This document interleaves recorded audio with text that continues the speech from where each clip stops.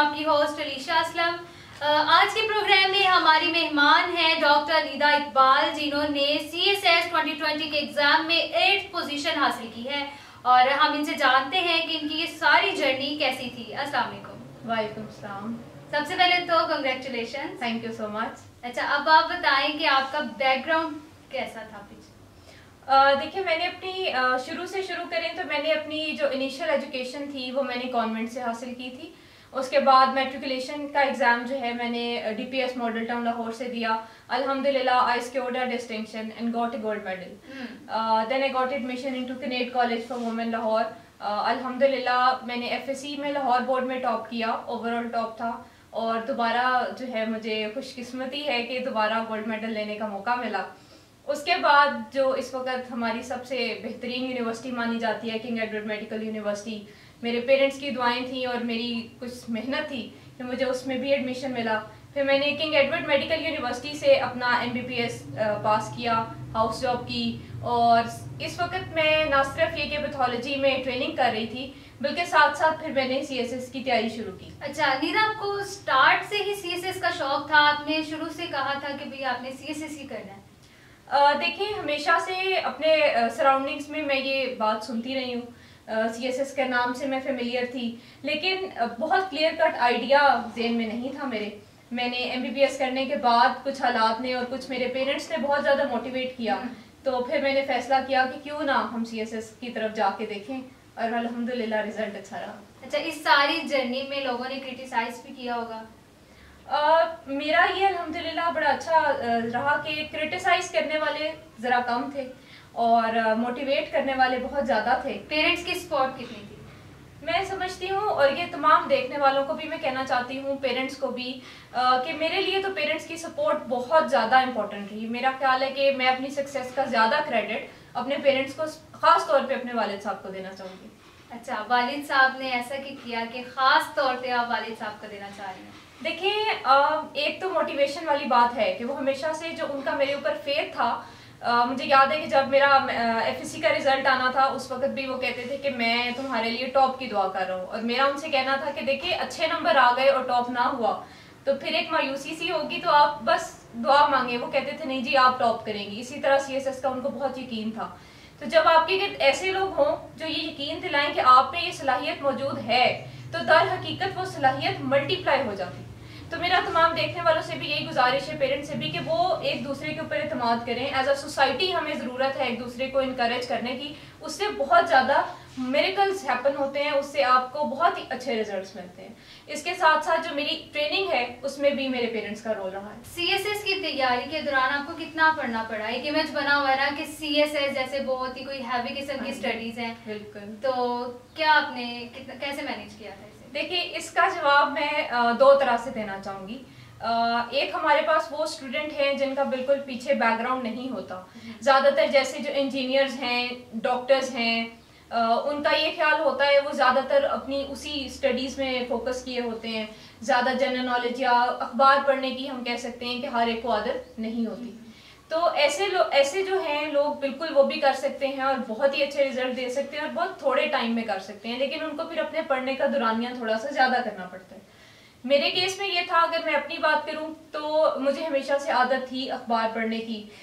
जैसे मैंने पहले ज़िक्र किया कि ये थोड़ी सी घर की ट्रेनिंग थी, वालिद साहब को शौक था, उनके साथ पढ़ते थे बैठ के। तो अखबार वगैरह पढ़ने की आदत थी। मुझे थोड़ा सा मैं, अल्हम्दुलिल्लाह डिबेट्स में रही हूँ। उसकी वजह से करंट अफेयर्स का नॉलेज मेरा था। तो मुझे थोड़ी सी नो हाउ चीज़ों की थी ऑलरेडी उसके साथ साथ मेरे पास जॉब थी। तो पढ़ना ज़रूर पड़ता है आपको। मेहनत करनी पड़ती है। और जितनी मेहनत आप लोग कर सकते हैं, ज़रूर करें। अगर आप सात घंटे पढ़ सकते हैं तो कोशिश करें कि आप आठ घंटे पढ़ें। Push yourself and reach the heights ये मेरा आज का मैसेज भी है कि और अगर मेरा पढ़ने का दुरानी है तो किसी दिन मैं आठ घंटे पढ़ती थी और जो इम्तहान रिटर्न एग्जामिनेशन के आखिरी के पंद्रह दिन थे, उसमें मैंने दस से बारह घंटे भी पढ़ा, तेरह चौदह भी किसी दिन टच किया। तो वो ये है कि आप बस पूरी मेहनत लगाएँ और अपने हिसाब से मैनेज करें कि आपकी पर्सनैलिटी को, आपके सर्कमस्टेंसेस को क्या चीज़ सूट करती ठीक है। आपने बताया आप जॉब करती थी आप डॉक्टर हैं। तो आपने उसके साथ जॉब के साथ कैसे मैनेज किया अपनी स्टडीज़ को? जॉब के साथ मैनेज करने के लिए देखिए मुश्किल होती है नामुमकिन नहीं है। अगर मैं कर सकती हूँ तो मेरा मानना है कि आप में से हर कोई कर सकता है। इसके लिए ज़रूरी ये है कि जो मैंने भी किया था कि आपको फिर अपनी ज़िंदगी में कुछ फिल्टर्स लगाने पड़ते हैं हम्म। जैसे हम आजकल लगाते हैं सर्च करते हैं कुछ फिल्टर्स लगाने पड़ते हैं आपको अपनी सोशल एक्टिविटीज़ को थोड़ा कम करना पड़ता है कुछ दोस्तों से थोड़ी देर थोड़ा लाताल्लुक रहना पड़ता है जिनके साथ आप अब आजकल माजरत का सिलसिला हम्म। चलता है हमारा कि भाई सॉरी उस टाइम हम नहीं पहुँच सके आपका ये इवेंट था तो इस तरह से आपने अपनी प्रायोरिटाइज करना है कि इस वक्त इन दो महीनों में इन चार महीनों में मैं ज़्यादा टाइम पढ़ाई को दूँगा। और जॉब के साथ इस तरह से है कि आप कोशिश करें कि आप अपना काम एफिशिएंटली करें आप अपना काम जल्दी कर सकें। उस दौरान में अगर आपको कुछ टाइम मिलता है तो वहाँ मैनेज करें। रास्ते में आते जाते बाजू का टाइम मिल सकता है। उसको भी ले लें, उसको भी ज़ाया ना करें। नींद थोड़ी सी कम कर लें। इस तरह की चीज़ों से फिर आप जॉब के साथ मैनेज करते हैं। कुछ स्टूडेंट्स हैं जो सीएसएस करना चाहते हैं लेकिन उन्हें अवेयरनेस नहीं है या यूँ कह लें कि उनके पेरेंट्स को अवेयरनेस नहीं है बिल्कुल। तो उनको आप क्या मैसेज देंगे? देखिए सी एस एस का लफ्ज जो है वो हमारी सोसाइटी में सुना सबने हुआ है। हम्म। बेशक वो हम एक किसी आ, जो है किसी गरीब बैकग्राउंड को ले लें या किसी एलीट बैकग्राउंड को ले लें। ये हमारी सोशल रियलिटीज हैं और हर पेरेंट की ये कोशिश होती है कि उनका बच्चा ऊपर से ऊपर तक जाए और किसी अच्छे इम्तहान में का, कामयाब हो। सिर्फ़ सी एस एस नहीं बाकी तमाम इम्तहान भी इतने ही इंपॉर्टेंट और इतने ही अच्छे हैं।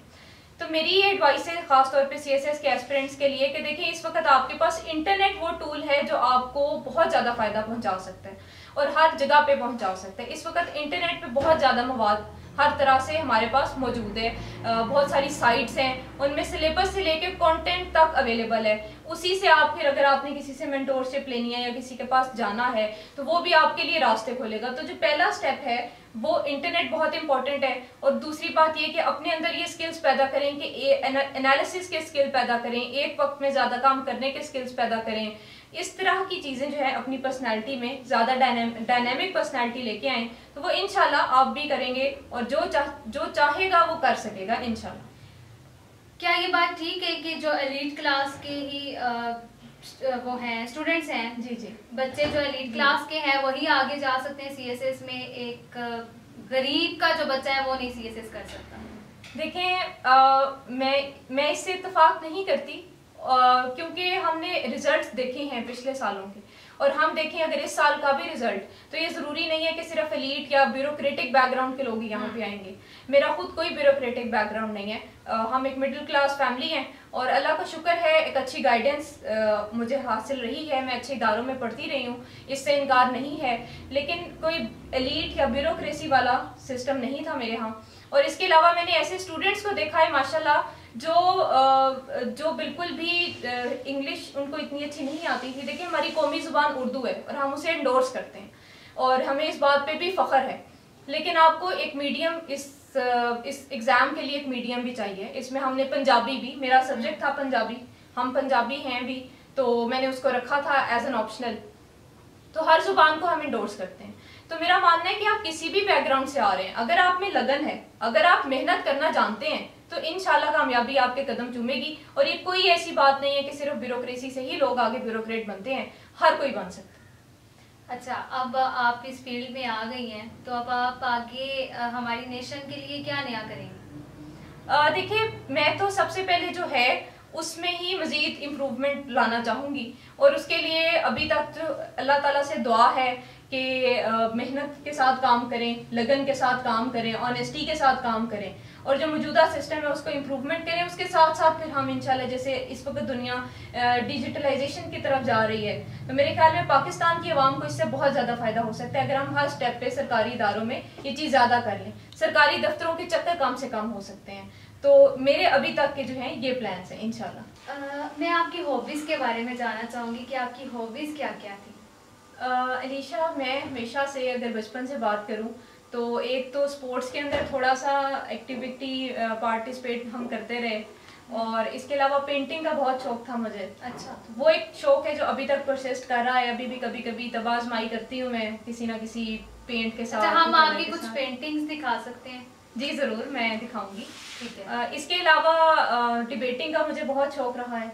और डिबेट्स में मैंने जो है वो यूनिवर्सिटी में भी बहुत पार्टिसिपेशन की है। हम्म। तो बेसिकली तो मैं यही कहूँगी कि क्रिएटिव आर्ट्स और डिबेटिंग जो है वो उसमें ज़्यादा इंटरेस्ट रहा इतनी सारी शीट्स यहाँ पर पड़ी हुई हैं उनसे तो अच्छा आपके पेरेंट्स भी खुश होते होंगे ये आपके प्राइजेस जैसे ही आप विन करके लेकर आती होंगी। सीएसएस तो बहुत बड़ा उनके लिए सरप्राइज़ था।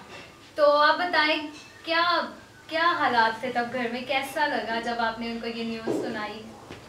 बिला शुबा पेरेंट्स की खुशी तो बहुत ज़्यादा इंपॉर्टेंट होती है और मेरा मानना है कि आपकी किसी भी खुशी में पेरेंट्स की खुशी खुशी हम्म। उस खुशी को चार चाँद लगाती है।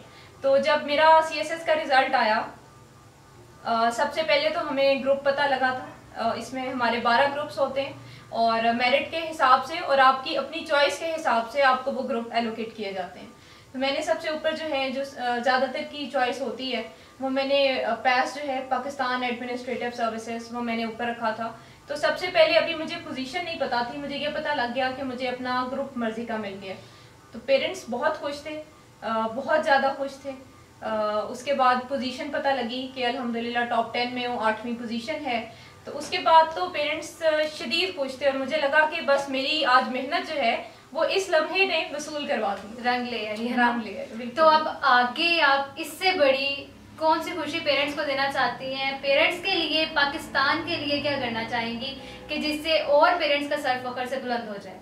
देखिए मेरी दुआ है अपने लिए भी जो और मैं चाहूँगी कि तमाम लोग भी इस दुआ में शामिल भी हों कि हम सब लोग जहाँ जहाँ जिस भी पोजीशन पे हैं जिस भी अहदे पे हैं छोटा है, बड़ा है, जिस भी तरह का है, हम उसको उस उस जगह को पाकिस्तान के फ़ायदे के लिए इस्तेमाल करें, हम करप्शन ना करें ऑनेस्ट रहें, लगन से काम करें, और पाकिस्तान को अकवाम आलम में एक अच्छे मुकाम पे लेके जाएँ। मेरे ख्याल में ये ना सिर्फ़ हमारी पूरी कौम, बल्कि वालदेन के लिए भी फख्र का मुकाम होगा कि हम अगर छोटा सा हिस्सा भी डालते हैं तो वो हिस्सा तमाम लोगों का इम्पोर्टेंट है। हमें ये बात जाननी चाहिए। बिल्कुल।